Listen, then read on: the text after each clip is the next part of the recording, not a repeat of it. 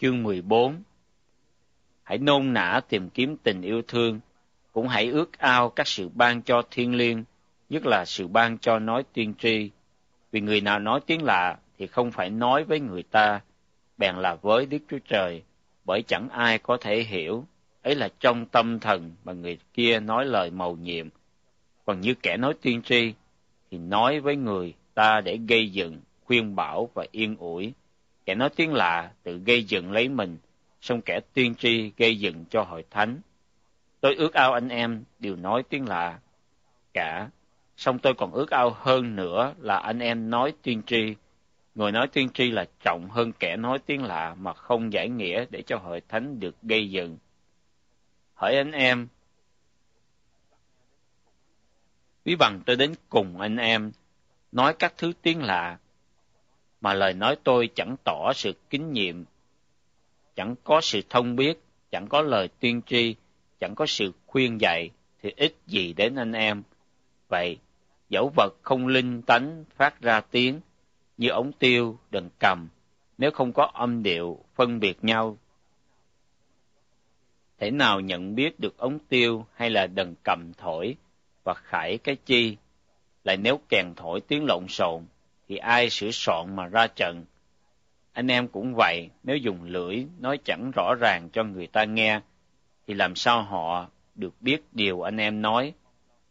Vì anh em nói bông lông, trong thế gian này có lắm thứ tiếng, mỗi thứ đều có nghĩa. Vậy nói tôi chẳng biết nghĩa của tiếng nói đó, thì người nói tiếng đó sẽ coi tôi là mọi, và tôi cũng coi họ là mọi nữa ấy vậy vì anh em nôn nã ước ao các sự ban cho thiên liêng, hãy tìm cho được sự dư dật đặng gây dựng hội thánh. Bởi đó, kẻ nói tiếng lạ, hãy cầu nguyện để được thông giải tiếng ấy. Vì nếu tôi cầu nguyện bằng tiếng lạ, thì tâm thần tôi cầu nguyện, nhưng trí khôn tôi lơ lửng. Vậy thì tôi sẽ làm thế nào?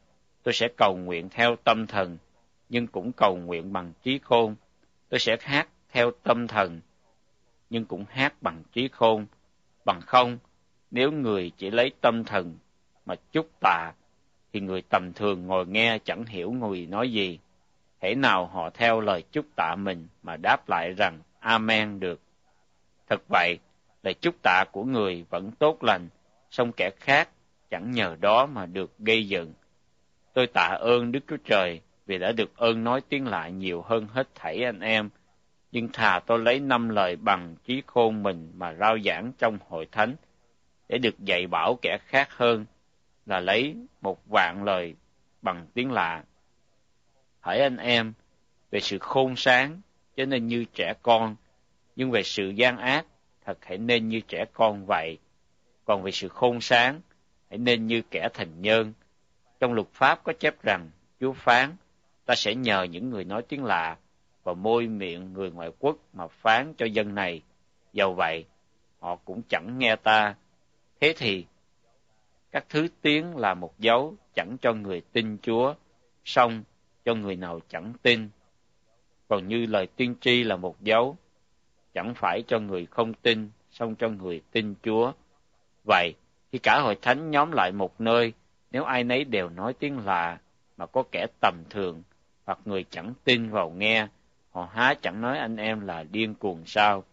Song nếu ai nấy đều nói tuyên tri, và có người chẳng tin hoặc kẻ tầm thường vào nghe, thì họ sẽ bị mọi người bắt phục và bị mọi người xét đoán. Sự kín dấu trong lòng họ đã tỏ ra, họ bèn sắp mặt xuống đất, thờ lạy Đức Chúa Trời và nói rằng, thật có Đức Chúa Trời ở giữa anh em. Hỏi anh em, nên nói thế nào khi anh em nhóm lại với nhau trong anh em, ai có bài ca hoặc bài giảng, dạy, hoặc lời tỏ sự kính nhiệm, hoặc nói tiếng lạ, hoặc giải tiếng lạ chăng, hãy làm hết thảy cho được gây dựng. Nếu bằng có người nói tiếng lạ, chỉ nên hai hoặc ba người là cùng. Mỗi người phải nói theo lượt mình, và phải có một người thông giải. Nếu không có ai thông giải, thì người đó phải làm thinh ở trong hội thánh mình, nói với mình và Đức Chúa Trời người nói tiên tri cũng chỉ nên có hai hoặc ba người nói mà thôi, còn những kẻ khác thì suy xét. Xong, Nếu một người trong bọn người ngồi có lời tỏ sự kinh nghiệm, thì người trước nhất phải nín lặng, bởi vì anh em đều cứ lần lượt mà nói tiên tri được cả, để ai nấy đều được dạy bảo, ai nấy đều được khuyên lơn.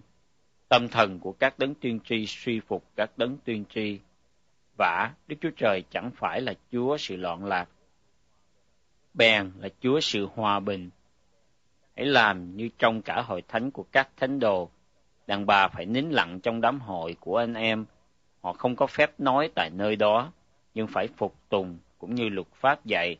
Nhược bằng họ muốn học khung điều gì, thì mỗi người trong đám họ phải hỏi chồng mình ở nhà, bởi vì đàn bà nói lên trong hội thánh là không hiệp lẽ. Có phải là đạo Đức Chúa Trời ra từ nơi anh em, hoặc chỉ đến cùng anh em mà thôi chăng? Nếu ai tưởng mình là tiên tri, hay là được Đức Thánh Linh soi sáng, thì người ấy hãy biết rằng điều tôi viết cho anh em đây là mạng lệnh của Chúa. Mà nếu ai muốn bỏ qua thì mặc họ bỏ qua.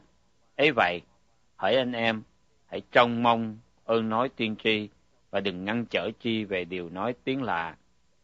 Nhưng mọi sự điều nên làm cho phải phép và theo thứ tự.